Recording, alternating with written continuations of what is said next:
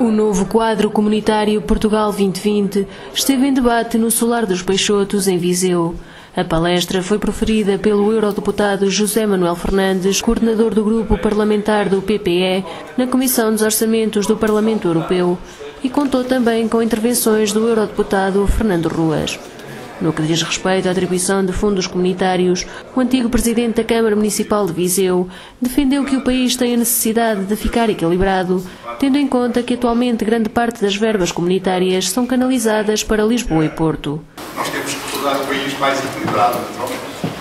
Temos que tornar este país e não pode ser um chavão, porque, na verdade, se atentarmos àquilo que foi a execução dos fundos comunitários anteriores, dos vários quadros comunitários, o país ficou mais desenvolvido, não tínhamos mas também ficou mais injusto, o que significou, por razões que aqui foram muitas evidenciadas, que nós recebemos mais dinheiro, desenvolvemos o território nacional, mas desenvolvemos de forma assimétrica.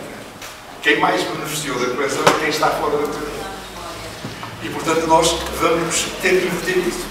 O eurodeputado tem como uma das principais prioridades em agenda a criação de um estatuto especial para territórios de baixa densidade, considerando fundamental que as regiões norte e centro do país tenham esse estatuto definido pela União Europeia. Não era assim há uns tempos esta, este ranking da região norte e da região centro estarem em Não era isto.